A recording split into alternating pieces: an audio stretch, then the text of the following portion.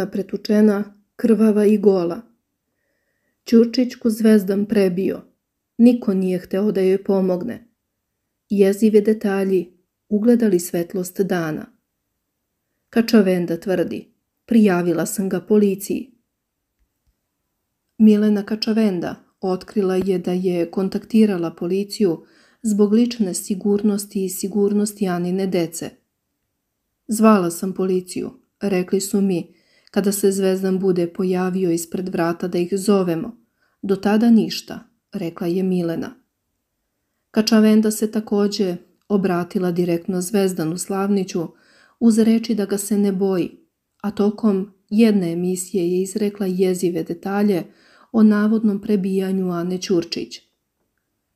Zvezdan ju je pretukao i izbacio na trg Republike, gola i krvava na betonu. Nikog nisam mogla da dobijem, niko nije hteo da pomogne. Rekla je Kačavenda te otkrila i da Ana nema pojma da je Milena kontaktirala Acu Bulića.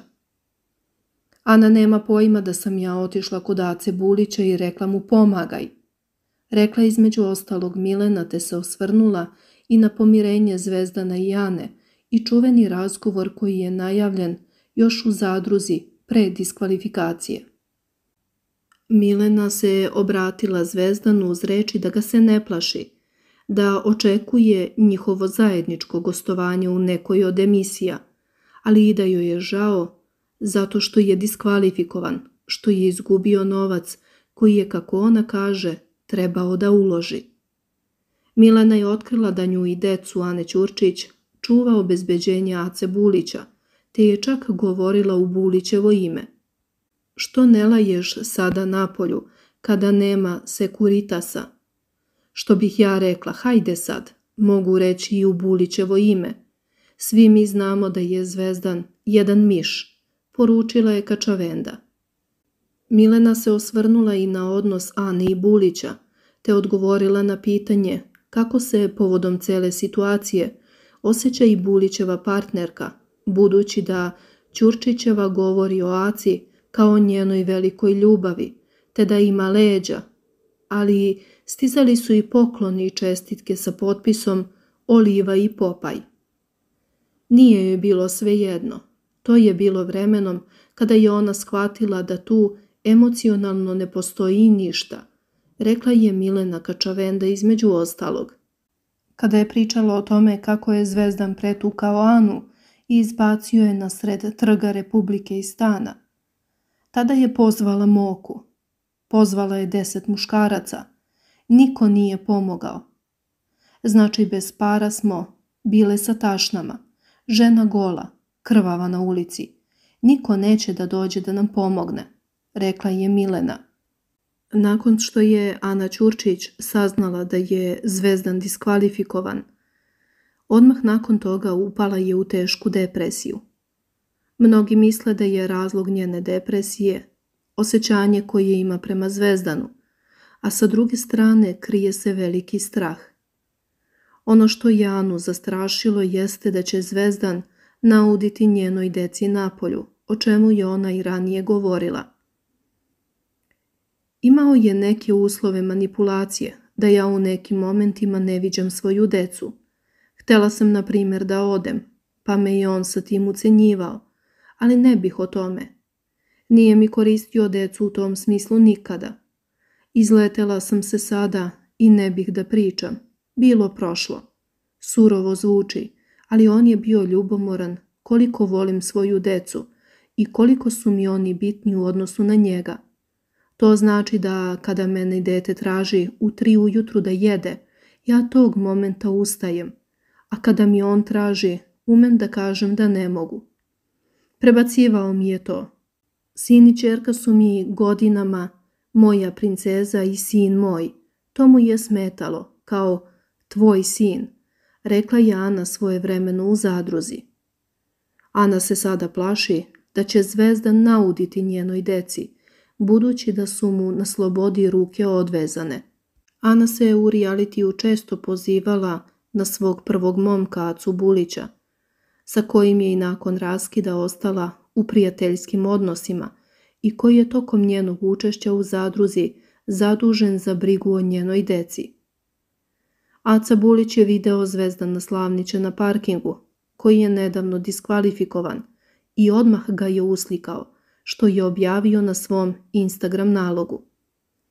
Kako Bulić priča, imao je potrebu da pozove Zvezdana da pričaju, ali Iva, Zvezdanova čerka koja je bila u tom trenutku sa Acom, nije želela da se susretne sa njim, pa je odlučio da će to ostaviti za dane kada Ana bude izašla iz realitija Zadruga 6.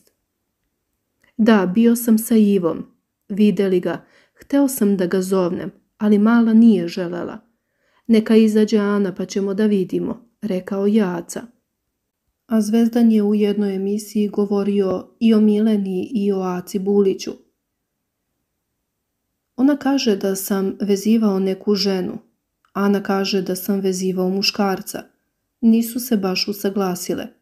Nisam ni jedan klip poslušao, niti ću, ali to što sam čuo nema veze sa istinom. Mene ne treba da se plaši.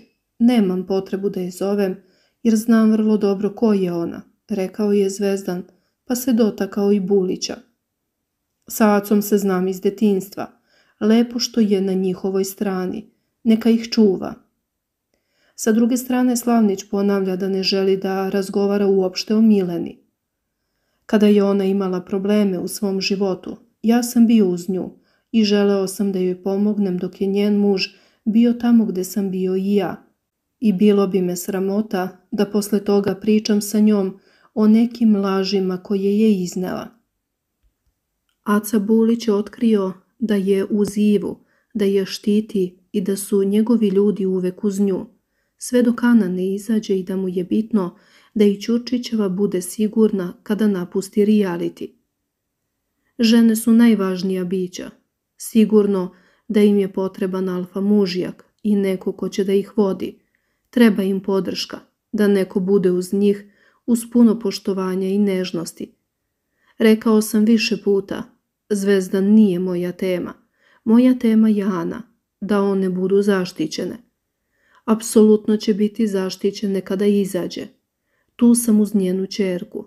Neka ova situacija bude simbolična za sve žene koje su u teškom stanju, koje imaju loše veze i brakove i neka bude trigger da prepoznaju stvari koje ne valjaju, da znaju da se sklone od muškaraca i kažu im ne, rekao je Aca Bulić u jednoj emisiji.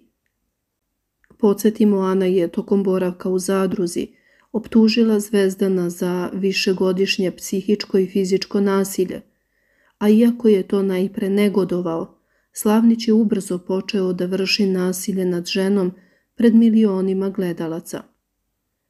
Kunem ti se u moje dete, neće se ovo ovako završiti. Neće me zanimati ni kamere ni ništa, a ja ću izaći iz zatvora. Izaći ću iz zatvora koji ćeš da mi napakuješ, a ti razmisli dobro o tome. Kada ti bude najbolje, e onda ćeš da vidiš. Sahranit ću te, pa smrdljiva, vidjet. Misliš da će to tako da prođe? Vrištao je tada zvezda na Anu. Na što su gledaoci ostali u šoku. Kakve pretnje, kakvo zastrašivanje javno. Kako li će biti sa njim u četiri zida? Komentarisali su mnogi.